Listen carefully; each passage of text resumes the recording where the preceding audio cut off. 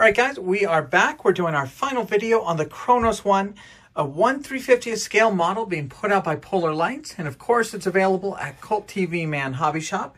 So in today's video, we are going to decal the ship. We're going to do the last of the weathering, and then we're going to add all the wonderful photo etch that makes the Kronos One pretty unique. So let's start off with the decals. And we have a pretty simple set of decals on here, this. Uh, we have a couple insignias, this is a very important one for kind of the front of the bulb, the photon torpedo launcher. And then all sorts of little details that go along the ship. Now, I was a tiny bit disappointed that this version of the ship doesn't really have this gorgeous Klingon insignia that the first version had. Uh, this was such a cool decal for the K't'inga version. I think it's actually four different parts there that fit wonderfully to give you that Klingon insignia on the bottom of the ship. Uh, but the Kronos 1 doesn't really have that detail. Now, the one thing I'm a little disappointed I didn't paint, because this decal actually looks a little hard, is they do give you a decal to go on the photo etch from the lighting kit. So kind of to wrap around the bulb, you've got this piece here and this piece here. That, I, I kind of feel like I should have painted it. Uh, but we'll see how the decal looks, and if the decal doesn't work out, I can remove it and paint the photo etch anyways. So I'm going to take a little bit of time here. I'm going to put these decals on, and then we'll check back in.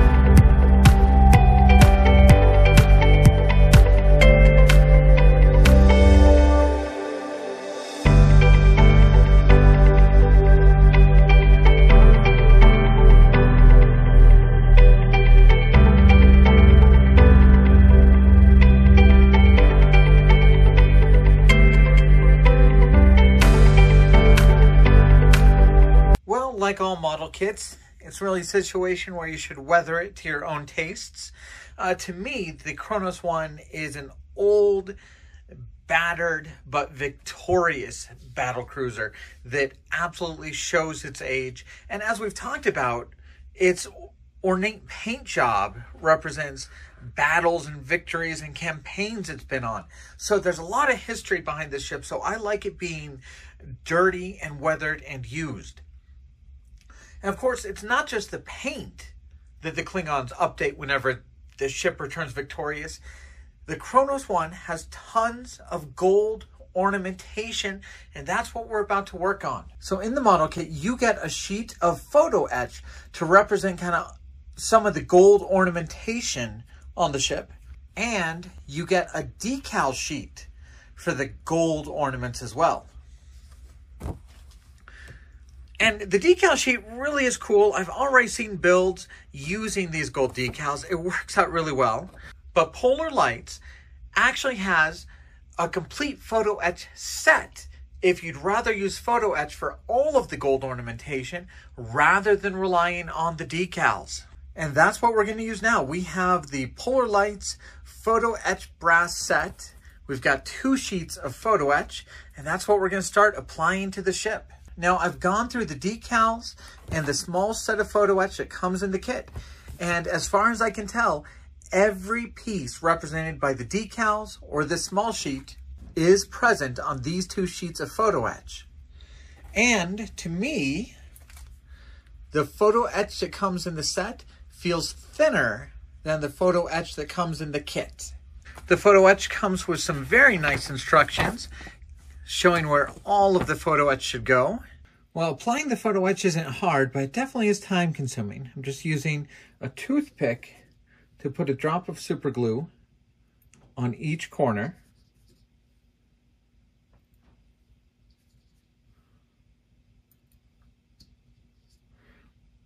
And some drops here in the middle where there's a lot of brass. It doesn't take much. And I'll make sure I'm lined up. And then just start pressing down.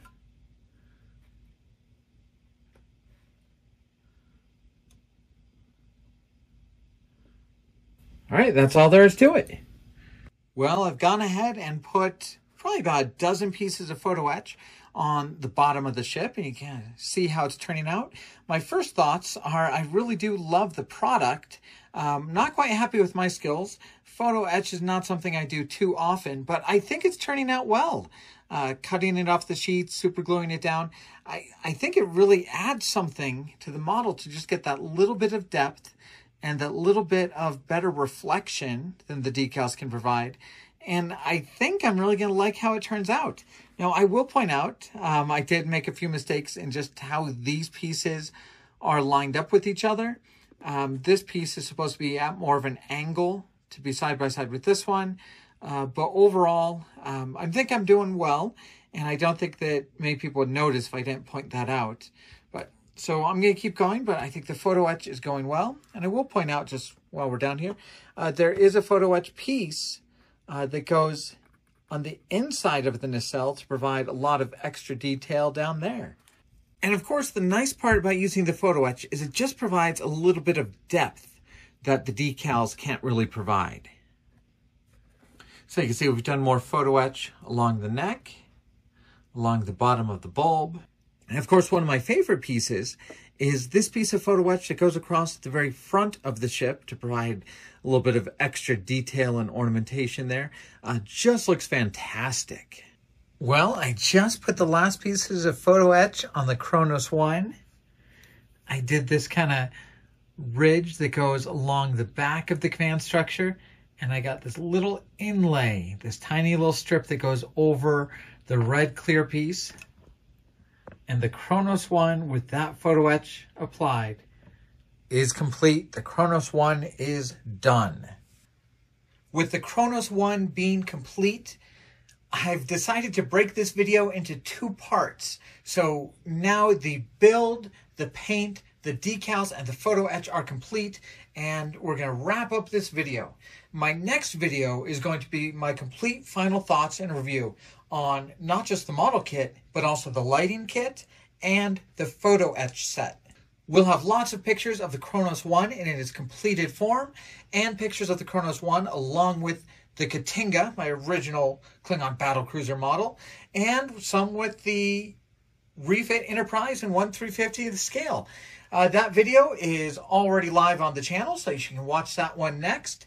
Thank you guys for watching this video, and hopefully it gives you a good idea of what the Kronos 1 model kit and accessories are like.